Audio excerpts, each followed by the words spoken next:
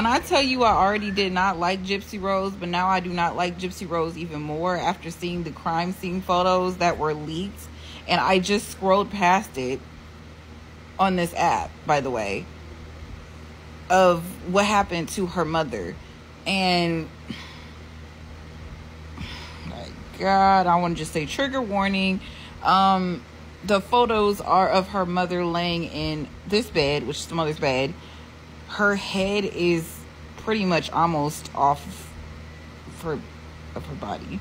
Um, and she is cuddled up next to a Barney stuffed animal and a Teletubby or a Cabbage Patch doll.